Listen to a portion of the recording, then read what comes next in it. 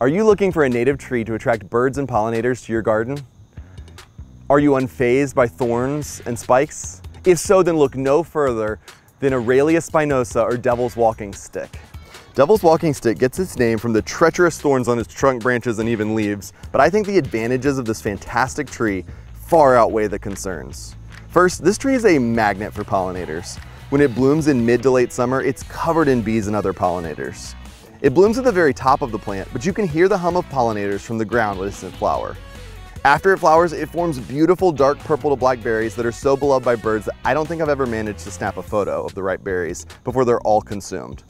And if you need another reason to love this plant, Aralia spinosa has the largest compound leaf of any tree native to the continental US, often growing to three feet long and two feet wide.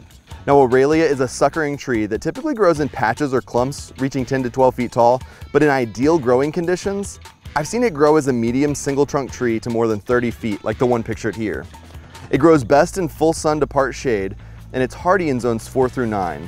Fall color is a pale yellow, and I firmly believe that this is a four season plant because even though it drops its leaves in the winter, it continues to add structure to your garden. Now, if you're planting this at home, and I firmly believe you should, you'll wanna put it in the back of the garden or somewhere away from visitors so nobody gets poked.